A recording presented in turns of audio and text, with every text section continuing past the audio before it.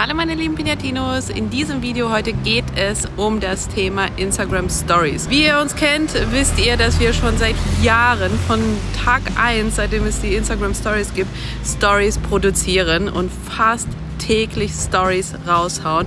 Das heißt, wir wissen, von was wir reden. Selbst bei uns gibt es natürlich auch Tage, an denen die Story-Views super gut laufen und auch Tage, an denen die Story-Views nicht so gut sind. Wir gehen der ganzen Sache auf den Grund, warum das so ist und wir haben fünf Tipps dabei, wie du deine Story-Views auch nach oben katapultieren kannst. Let's go!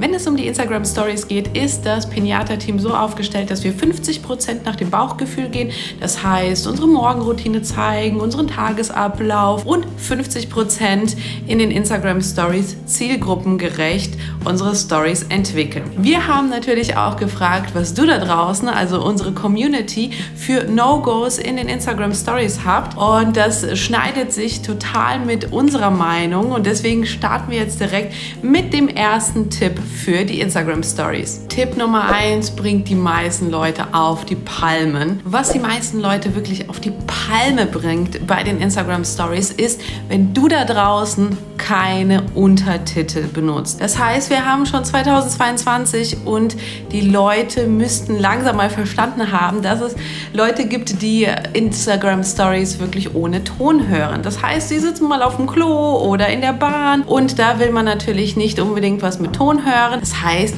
Sie lesen die Untertitel. Tipp Nummer 1 ist ein wirklicher No-Brainer und sollte wirklich in jede, jeden Instagram-Account, in jede Instagram-Story mit reinkommen und zwar die Untertitel in den Stories. Tipp Nummer 2 90% eigener Content bitte und nur 10% Reposts von anderen Stories oder von anderen Posts. Das heißt, eigener Content, das sind Fotos von äh, dir, ähm, Videos von dir, Boomerangs, also alles, was du wirklich selber produzierst, von dir selber zeigst. Dazu gehören auch Grafiken, Canva-Grafiken. Da aber vorsichtig nicht zu viel. Lieber wirklich authentischen, echten Content in den Stories, wo man dein Gesicht sieht. Und 10% bitte nur, wenn du in einer Story verlinkt worden bist oder wenn du einen Post von jemandem teilst, wo du verlinkt worden bist oder den du wichtig findest oder lustig findest. Und da wirklich die Gewichtung 90% und 10%. Sonst wird es langweilig für den Zuschauer. Und der Zuschauer denkt sich aber auch äh, ganz ehrlich, auf welchen Account bin ich denn, wenn da die ganze Zeit nur Reposts stattfinden. Tipp Nummer 3, nicht zu viele Stories. Ihr kennt ja bestimmt diese Accounts, die so ganz, ganz viele Punkte, Punkte, Punkte, Punkte haben äh, bei den Instagram Stories. Das sind meistens Influencer oder Leute, die gerade einen Lounge haben. Das machen wir auch. Wenn wir einen Lounge haben, dann feiern wir in der Story. Aber wenn du gerade keinen Lounge hast, wenn du einen normalen Tag gerade hast, solltest du dich auf 10 bis 15 kleine Snippets, also kleine 15 Sekunden Stories beschränken, denn in den Instagram Stories ist wirklich weniger mehr. Und verteile es auf den Tag, das ist auch eine wichtige Sache. Nicht alles morgens raushauen und dann zack, Handy aus dem Fenster, sondern verteile es auf dem Tag. Das bedeutet, dass deine Follower immer wieder aufs Neue den kleinen Kreis oben in der Story ganz vorne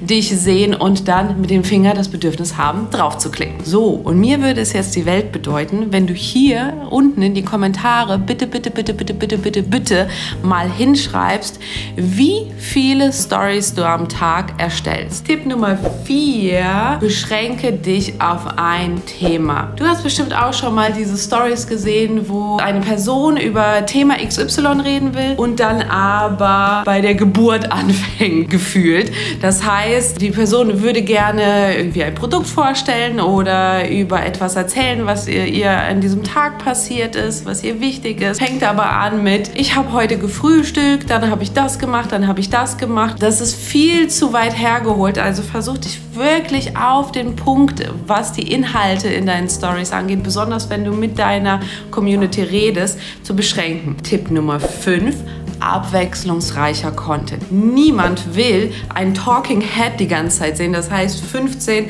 Stories, wo man wirklich nur die ganze Zeit deinen Kopf sieht, vielleicht ein bisschen Untertitel, ein bisschen GIFs und dann aber die ganze Zeit, okay, sie redet immer noch, sie redet immer noch. Deswegen ist es super wichtig, über den Tag verteilt abwechslungsreichen Content zu produzieren. Das heißt, mal ein Foto, mal ein GIF, mal eine Canva-Grafik zum Beispiel, mal einen Post, den du teilst, mal, dass du in die Kamera redest, mal, dass du die Kamera drehst und man sieht, wo du langläufst. Also wirklich da ein bisschen abwechslungsreich, damit das Auge des Zuschauers auch noch gerne hinsieht. Und Tipp Nummer 6, der liegt mir persönlich sehr, sehr, sehr, sehr, sehr, sehr am Herzen. Negativität auf 5% bitte beschränken. Das gilt grundsätzlich auf deinem Instagram-Account.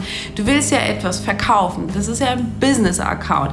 Du willst die Leute motivieren. Und mit Negativität, das bedeutet, dass wenn du jedes Mal die Story machst und jedes Mal meckerst, haben die Leute auch nicht gerade das Bedürfnis, bei dir etwas zu kaufen. Das sage ich ganz ehrlich. Es ist okay, 5% auf etwas aufmerksam zu machen, aber es sollte grundsätzlich positiv auf deinem Account und in deinen Instagram-Stories zugehen. Ich rede rede nicht von toxischer Positivität, sondern wirklich motivieren und deine Community mitnehmen, sodass die das Bedürfnis haben, boah, ich habe Bock, das und das zu machen. Zum Beispiel, wenn du einen Fitness-Account hast, ich habe Bock, Fitness zu machen. Wenn du einen Ernährungs-Account hast, oh, ich habe Lust, mich gesund zu ernähren.